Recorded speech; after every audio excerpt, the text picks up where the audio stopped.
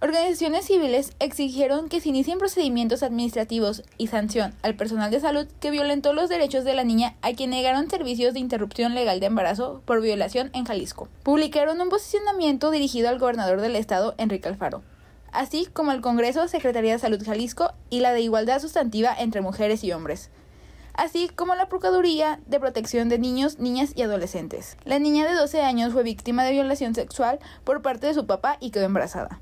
El 12 de abril ella pidió ayuda para interrumpir su embarazo, pero no la ayudaron rápido. La hicieron esperar 11 días más. Mientras esperaba en el hospital le dijeron que podía dar al bebé en adopción en lugar de interrumpir el embarazo. La trasladaron a la Ciudad de México para hacer el procedimiento, pero también tardaron mucho en hacerlo.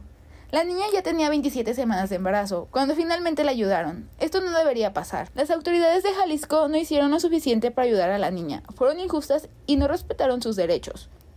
Por eso, organizaciones están pidiendo a las autoridades que hagan lo siguiente. Principalmente proteger y cuidar a la niña y su familia, ayudar a la niña para que no sufra más violencia, investigar y castigar al agresor, sancionar al personal del hospital que no la ayudó a tiempo, capacitar a más personas para ayudar en casos como este, garantizar que todas las niñas puedan recibir orientación y apoyo si quedan embarazadas, dar acceso rápido a los servicios de aborto si lo necesitan, trabajar para evitar que más niñas queden embarazadas, crear leyes para proteger a las niñas de la violación sexual y por último, eliminar el delito de aborto del Código Penal para que las niñas tengan más opciones. Con información de Elizabeth Ortiz para UDGTV, Canal 44, Fernanda Sánchez.